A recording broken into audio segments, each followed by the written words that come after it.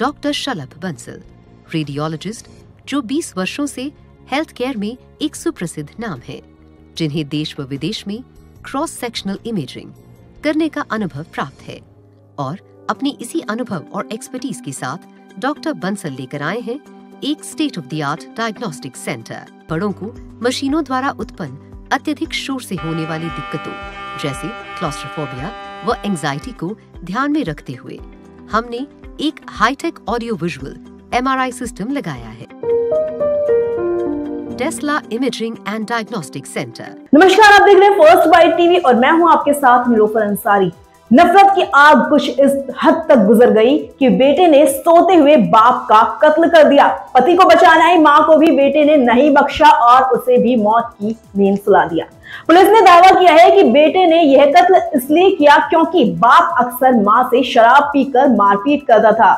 यह उसे नागवार गुजर रहा था। लिहाजा बाप की हत्या कर दी गई। माँ को इसलिए मार दिया गया क्योंकि वह जाग गई थी और उसने हत्यारे बेटे से अपने पति को बचाने की कोशिश की थी। बेटे आर्यन व उसके दोस्त आदित्य को गिरफ़्तार कर लिया गया है। हथियारों की जुबानी पुलिस की कहानी जिसने भी सुनी, वह आश्चर्यचकित हो गया। साथ ही यह सवाल भी कौन गया कि अगर शराब के नशे में मारपीट जैसी हरकतों के लिए बेटे ने बाप को मौत के घाट उतार दिया फिर उस माँ की क्यों हत्या कर दी गई, जिसका दर्द वह बर्दाश्त नहीं कर पा रहा था। आरोप यह है कि बाप प्रमोद माँ से अक्सर मारपीट करता था, इसलिए आर्यन ने उसे मौत की नींद सुला दिया।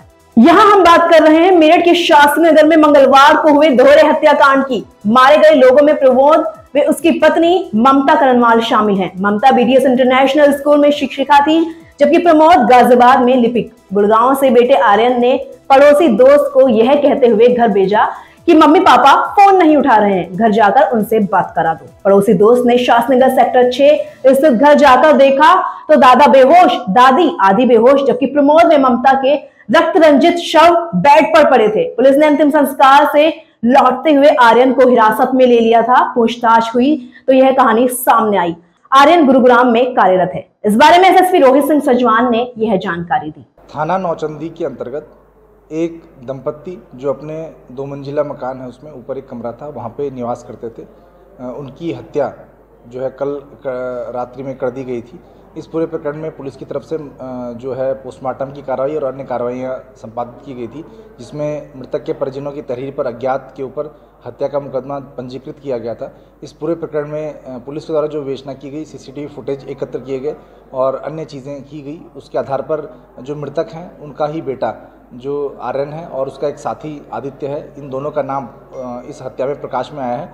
और जो अभियुक्त हैं, उनके द्वारा ये बताया गया है कि उनका जो पहले जो इरादा था, वो केवल जो उनका जो पिता है, उसको मारने का था। लेकिन क्योंकि वो, उनकी जो माता हैं, वो उस दौरान हत्या के दौरान जग गई थी, इस वजह से उनकी भी हत्या ये इन दोनों के द्वारा कर दी गई। इस पूरे प्रकरण में ये चीज़ निकल के आई है कि शाम को आठ बजे के आसपास जो मृतक का जो लड़का है, वो घर पे गया है और उनको मैंगो शेक, तीन सदस्यों को मैंगो शेक पिलाया जिससे कि वो, उनको नींद आ गई। केवल पिता जो है, पिता को उसने मैंगो शेक नहीं पिलाया, उसमें नशीली दवाइयाँ उसके द्वारा मिलाई गई थी और रात्रि को फिर साढ़े ग्यारह बजे के आसपास ये जो है, वो घर पर आया है और घर पे आकर इसने अपने पिता की हत्या की और उस दौरान जो माँ है, वो जग गई और फिर दोनों की इन्होंने हत्या करके और यहाँ से ये गुड़गांव फरार हो गए। हत्या के हत्या का जो कारण मृतक के लड़के के द्वारा जो बताया गया है उसके द्वारा बताया गया है कि जो उसका पिता है, वो अक्सर शराब पीकर अपनी उनकी जो माता है, उनको आकर मारता पीटता था, जिससे घर में कलह की स्थिति उत्पन्न रहती थी और इसके बाद घर में जो पूरा माहौल है, वो बहुत ख़राब रहता था। इस वजह से इसके द्वारा ये हत्या अपने पिता की कारित करने का ये इसने षड्यंत्र रचा लेकिन उस दौरान फिर इसकी जो माता जो जग गई फिर उसकी हत्या भी इन्होंने कर दी। दोनों गिरफ़्तार? दोनों ही अभियुक्तों को पुलिस के द्वारा गिरफ़्तार किया गया है। अभी के लिए इतना ही देखते रहिए फ़र्स्ट बाइट टीवी। और हाँ अपने इस चैनल को लाइक करना व सब्सक्राइब करना ना भूलें। नमस्कार।